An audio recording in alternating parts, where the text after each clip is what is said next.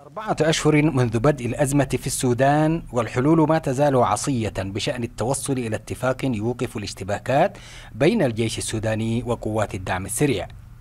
وهنا في أديس أبابا ومع فشل محاولات التوصل إلى حل تجتمع قوى مدنية تمثل أطيافا مختلفة لتوحيد رؤيتها للحل السياسي وتجنيب السودانيين تداعيات ما يجري.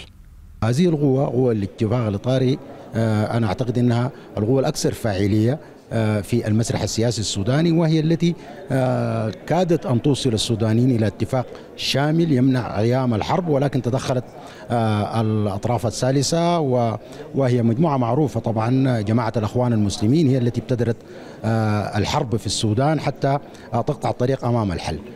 تجمع السودانيين جميعا خلف خطاب مدني لأنهم هم أصحاب المصلحة الحقيقية. في وقف الحرب سوف يؤدي إلى محاصرة هذه الحرب. ومع استمرار الأزمة وتباعد وجهات النظر بين جميع الأطراف سواء السياسية والعسكرية يتفاقم الوضع الإنساني في البلاد وهو ما يجعل هذا الاجتماع مهما لوضع رؤية لمجابهة التحديات في عدد من الولايات.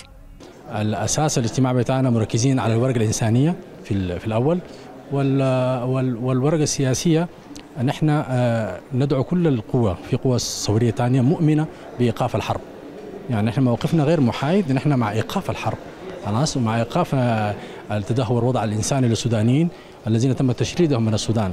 خلاص؟ يعني جزء منهم لاجئين في مصر وجزء منهم في أثيوبيا وفي الجنوب. فأنا شايف إنه استمرار الحرب خلاص الخاسر الوحيد فيها الشعب السوداني وليس إلا. إيقاف الاشتباكات وإيصال المساعدات الإنسانية إلى المتضررين أبرز القضايا التي يناقشها اجتماع أديس أبابا لقوى سياسية مختلفة التوجهات. القوى السياسية السودانية تجتمع في أديس أبابا بحثا عن حل لأزمة بلادها في ظل استمرار الاشتباكات. ليست المحاولة الأولى وقد لا تكون الأخيرة بهدف التوصل إلى حل سلمي يضع حدا للأزمة التي تفاقمت خاصة على الصعيد الإنساني. جابر منصور سكاي نيوز عربية أديس أبابا